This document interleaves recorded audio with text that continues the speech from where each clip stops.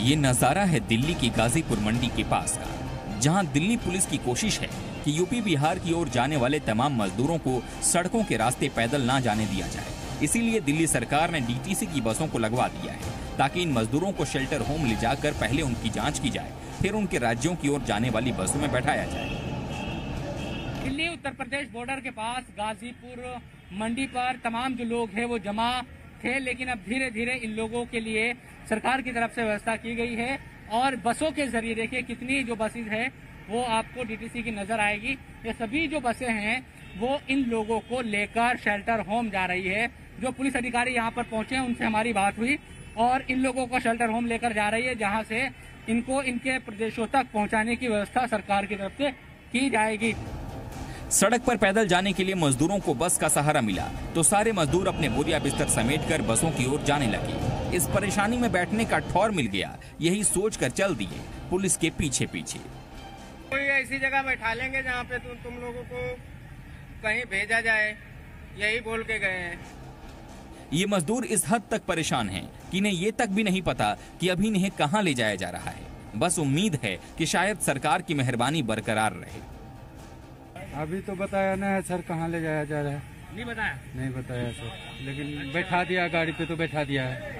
इनके लिए इतना इत्मीनान ही काफ़ी है कि कम से कम पैदल तो नहीं चलना है। भले आज नहीं, कल सरकार उनके घर भेजी देगी। लेकिन ये सब कुछ तब हुआ जब औरैया में सड़क हादसे में इन्हीं मजदूरों के तमाम भाइयों की जान चली गई। सरकार ने तब बसों का इंतज़ाम करना शुरू किया। लेकिन सरकार की इस कोशिश से पहले ही हज़ारों मजदूर अपने घरों की ओर कूच कर चुके थे। लखनऊ पहुँचने पर इन मजदूरों को बसों से इनके जिलों की ओर भेजा जा रहा है। दिल्ली से करीब 700 किलोमीटर दूर बहराइच तक का रास्ता कदमों से नापने की सोच कर चले थे ये मजदूर। तीन दिन में लखनऊ पहुँचे हैं, जिनकी संख्या 20 के करीब है। अब लखनऊ में इन्हें रोका गया है, बसों में बैठाया जाएगा। आज तक एक ग्राम न तो राशन मिला, न किसी को एक दाना खाना मिला। जो कुछ हुआ अपने से जो करके खा पाए कर्जे लेके जो कुछ करके खा पाए जो खा पिए उसके बाद जब मेरे पास कुछ नहीं रह गया तो हम लोग चल दिए। अब तक सड़कों पर नंगे पैर चलते मजदूरों के काफिले को देखना मुश्किल हो चुका था। रोज ऐसी तस्वीरें सामने आ रही थीं जिन्हें देखकर आत्मा सिहर उठती थी।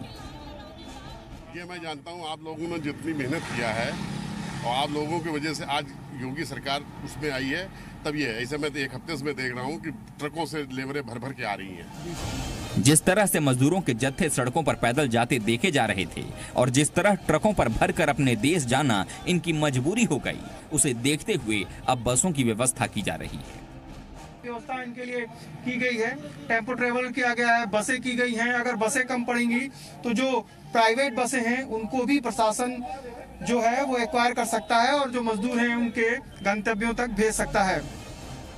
जिन जिंदगियों का नुकसान अब तक हो चुका है, उसकी भरपाई तो नहीं की जा सकती, लेकिन आगे हादसों से बचा जा सकता है और उसी की कोशिश में सरकारी बसें लगाई गई हैं, ताकि मजदूर घरों तक महफूज पहुँचे। Bureau report Zee Media.